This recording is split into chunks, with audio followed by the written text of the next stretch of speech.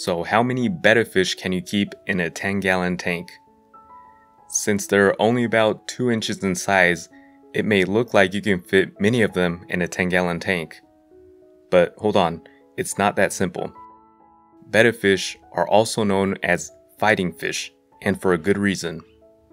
If the males are placed in the same tank, they'll flare at each other and fight, sometimes till death. They don't really like having roommates. Even if you're considering a sorority tank with only female bettas, they don't always get along either. You may need a larger tank for them to properly figure out their pecking order. So, if you have a 10 gallon tank, I recommend keeping one betta fish. Put a nice male in there and let him enjoy his bachelor pad in peace.